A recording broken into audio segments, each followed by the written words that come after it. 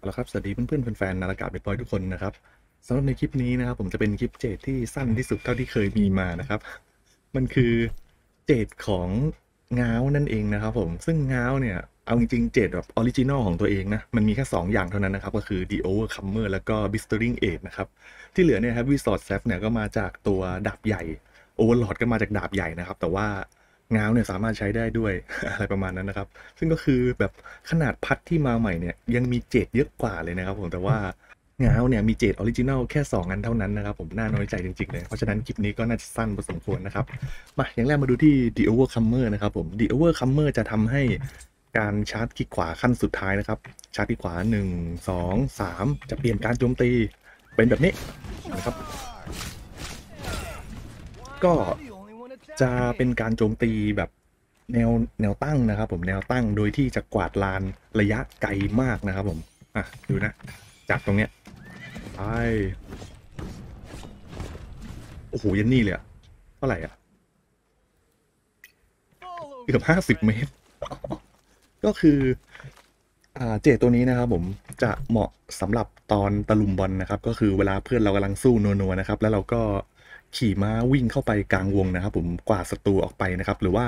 ในช่วงวงหลังๆนะครับ ที่วงเริ่มบีบลงมาเนี่ย เวลามันแคบๆใช่ไหมเราก็ใช้ Jade ตัวนี้นะครับ ผมในการผลักศัตรูออกไปนอกวงนั่นเองนะครับ ก็จะทำให้ศัตรูแบบโดนวงนะครับ ผมแบบเลือดลดกระจุยเลยนั่นเองนะครับ ผม ซึ่งเอาจริงเอาจริงๆเนี่ยเจตัวเนี้ยสำหรับผมไม่ได้เน้นในการทำ damage นะแต่ว่าเน้นในการดันศัตรูนะครับ เพราะว่าท่าของมันเนี่ยมัน สามารถที่จะใช้ผักศัตรูไปได้ไกลมากนะครับ ยิ่งถ้าหากว่าคุณผู้ชมผักศัตรูติดกำแพงนะครับ ผมแบบเนี้ยจะโดนยับยับเลยนั่นเองนะครับ ผมก็คือกระดิกไปไหนไม่ได้เลย โอเค ประมาณนี้นะครับ ผมสำหรับเจด The Overcomer นะครับถามว่าดีไหมคือดีมากนะครับ เพราะว่าสามารถใช้ในการผักศัตรูแบบให้กระเด็นได้นั่นเองนะครับ ผมผักออกนอกวง ผักออกนอกไฟหรือว่าใช้ในการอัดศัตรูติดกำแพงนะครับ ผมก็จะทำให้ศัตรูแบบ โดนดาเมจกันสนุกเลยทีเดียว แล้วก็ไม่สามารถขัดขืนอะไรได้เลยนั่นเองนะครับผมเพราะฉะนั้น The Overcomer นะครับ เอาไปสิบเต็มสิบแน่นอนนะครับ เป็นหนึ่งในเจดที่ผมเจอแล้วรู้สึกดีใจมากนะครับผมต่อมาเป็น Blistering Age นะครับผม Blistering Age เนี่ยจะเปลี่ยนการชาร์จโจมตีคลิกซ้ายนะครับผมให้กลายเป็นนี่เป็นขึ้นไฟแบบนี้นะครับผมซึ่ง damage ก็ถือว่าแรงระดับหนึ่งนะครับ แต่ว่าข้อดีของการโจมตีเนี่ยคือมันเป็นคลื่นไฟอะ มันจะทำให้ศัตรูติดสถานะเผาไหม้นั่นเองนะครับผมซึ่งสถานะเผาไหม้ในเกมนี้เนี่ยมันจะทำให้การ heal นะครับผมจะเบาลงนั่นเองนะครับผมเท่ากับว่าเราใช้ b i s t e r i n g Aid เผาศัตรูเพื่อกดดันแบบนี้นะครับเขาก็ heal ไม่ค่อยขึ้น หรือว่าเราจะใช้คู่กับ Stone Form ก็ได้นะครับ อย่างเช่น ถ้าศัตรูโจมตีเราแล้วเราสวนด้วยคลิกซ้ายนะครับ แบบนี้ เดี๋ยวเดี๋ยวเดี๋ยวอะแป้งแล้วก็ปล่อยไป แบบนี้นั่นเองนะครับผมสำหรับ Stone Form คงไม่ต้องพูดซ้ำกันแล้วนะมันคือสถานะที่เราชาร์จอยู่แล้วศัตรูโจมตีเราเนี่ย ตัวละครเราสามารถที่จะสวนการโจมตีได้ทันทีนะครับ อันนี้ผมพูดไปเยอะแล้ว โอเค ประมาณนี้แล้วกันนะครับสำหรับ b i s t e r i n g Age ถือว่าเป็นเจดที่อะผมให้คะแนนอยู่ที่ 9 เต็ม 10 นะครับผม คือมันดีมากอะระยะโจมตีมันกว้างมาก แต่มันใกล้ไปหน่อยนะ ใช้ซ้ำศัตรูตอนนอนได้ด้วยเดี๋ยวเดี๋ยวเดี๋ยวนี่ คือปกติเนี่ย เจด อ่าคลิกซ้ายนะครับผมการคลิกซ้ายฟันเป็นแนวนอนเนี่ย มันจะไม่ค่อยโดนศัตรูที่นอนนะครับ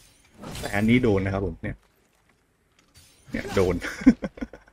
โอเค มันก็ดีมากนะครับผมสำหรับ Blistering Age เอาไว้เผาศัตรูนั่นเองนะครับผมโอเค ต่อมาก็เป็น Heavy Sword Zap นะครับผม Heavy Sword Zap ก็คล้ายๆกระดาบใหญ่นะครับ ก็คือถ้าหากว่าเรา parry การโจมตีเนี่ย มันจะทำให้เราฮิวเลือดนะครับ โอเค เดี๋ยวผม ผมไม่ได้ใส่เกราะตอนนี้ ผมไม่ได้ใส่เกราะโทษทีนะครับ แต่ว่าเดี๋ยวมาดูแล้วกันแอนิเมชันเป็นไงปัดกวาดลานโอเคประมาณนี้นะครับผมไปกันเร็วๆเลยนะ Heavy Sword Zap เราน่าจะชินกันอยู่แล้ว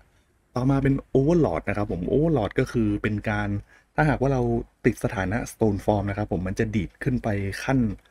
สูงสุดเลยนั่นเองนะครับผมอย่างเช่นถ้าหากว่าผมกำลังชาร์จอยู่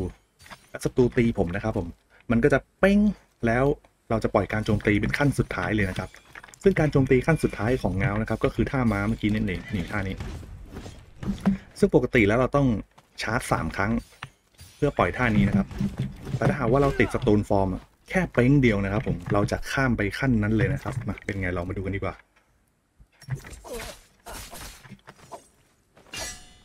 เห็นไหมเป้งเดียวเป็นม้าเลย